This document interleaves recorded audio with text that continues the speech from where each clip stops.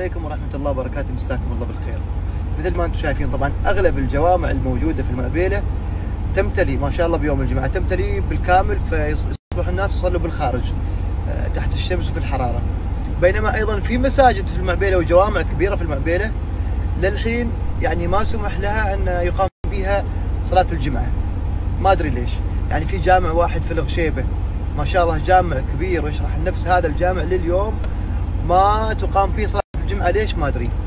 يعني بينما مال المعبيلة كلهم متجمعين في جوامع معينة بحيث إن الأعداد كبيرة ويصلوا وين؟ في الخارج. فنتمنى النظر في هذه المسائل يعني هذا الجامع حرام ليش ما يصلوا في جامع آه، الغشيبة هذا الكبير ما شاء الله؟ والله يعني أغلب الجوامع على فكرة في المعبيلة بهاي الطريقة.